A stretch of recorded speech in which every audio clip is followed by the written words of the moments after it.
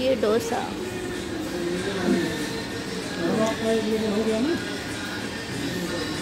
बहुत टेस्टी डोसा है ये।